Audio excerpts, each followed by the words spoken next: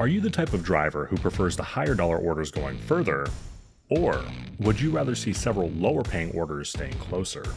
Regardless of your preference, you're not wrong. They both have their pros and cons, and in this video, we're going to be talking about just that.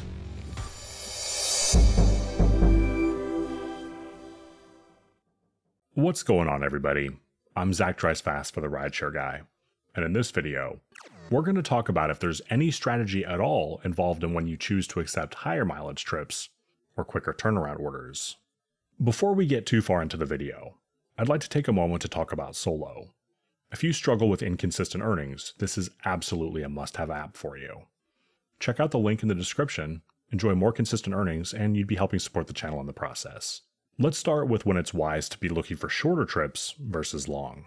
During busier times, when you know you're probably going to have several orders back to back, in my opinion, this is typically the time to favor the quick turnaround trips. Let's talk about why.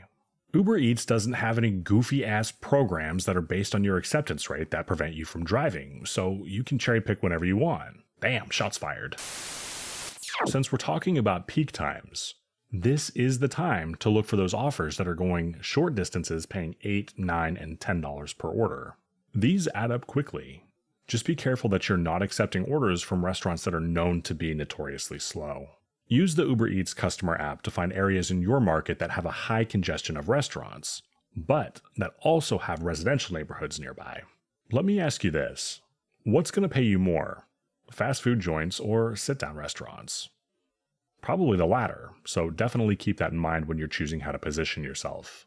Due to the high concentration of fancy ass restaurants in close proximity to neighborhoods where I wait, I frequently achieve between 3, 4 and $5 per mile on a regular basis.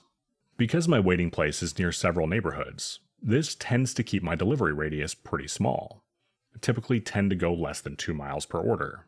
In fact, I usually stay so close to my waiting place that I'll frequently get offers on different apps while I'm in the middle of a delivery. This is great because I'm typically back quick enough to accept them without being late, and it keeps my wait times to a minimum. Now, to clarify, I'm not saying that if I get a higher mileage order that's paying well during peak times that I won't take it. I absolutely will, assuming the added pay justifies me doing the order. That's just common sense.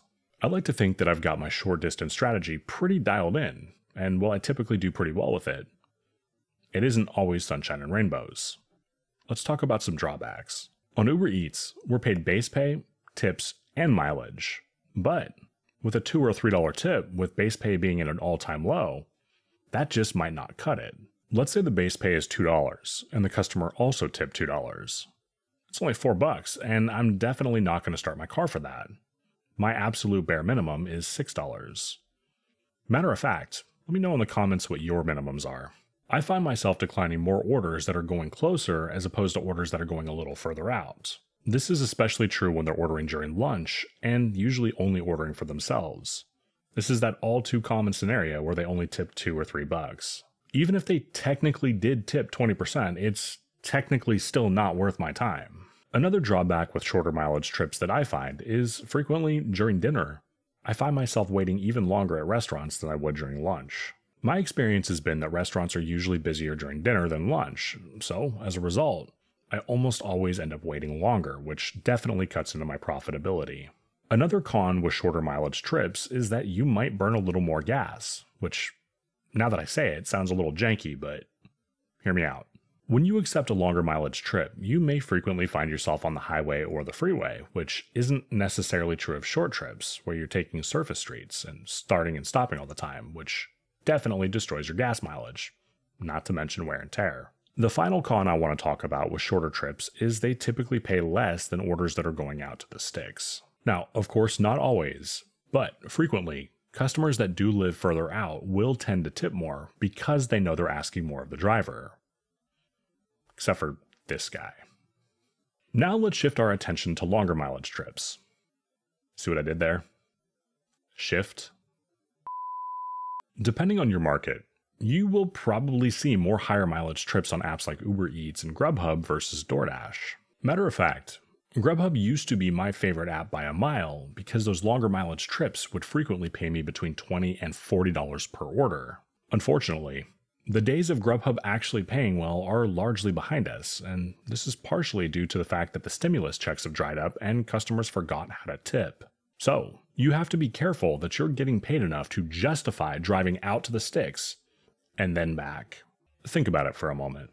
If the right longer distance trip comes around, you could make just as much with that one, if not more, than you could with two or even three trips staying close. I tend to prefer the longer mileage trips during times that are a little less busy. I like the guarantee that I'll have an order in the car and I won't have to wait around for an unknown period of time waiting to accept the next offer. I can't speak for you and your market, but with me and mine, typically speaking, the longer mileage trips almost always involve a highway or a freeway, which is definitely better for my gas, as well as wear and tear. Now, of course, there are drawbacks as well. One of the biggest, at least for me in my market, is that the orders that are going further are usually going between 8 and 12 miles, which is almost always out in the county somewhere. There's a lot of farmland, but there's not so many restaurants, so I'm almost always driving empty miles back. Again, in my area, it's almost always Uber Eats or Grubhub that send these types of orders, and it's getting harder and harder to achieve at least $2 a mile. So, be exceedingly careful with the mileage on the orders you're accepting. In fact, I strongly encourage that you increase your dollar per mile ratio if you're going to be driving empty miles back. Regardless on if you prefer short trips or longer mileage trips, you're not wrong. Just make sure you have a strategy for when you're taking them. If there's one thing you take away from the video, I hope it's this. Do not ignore things like time of day, day of the week, and market conditions. You should be accepting your offers based off of those things. I encourage you to develop a strategy for yourself, and this may take some trial and error, so be sure to utilize the customer app to find the best place to position yourself. That way, you'll have the greatest chance of success. Remember, if you haven't checked out Solo yet, the link's in the description. Give it a chance, you'll be glad you did. Also, if you haven't done so yet, please consider pressing the like button and subscribing to the Rideshare Guy. You can catch my videos here every Tuesday.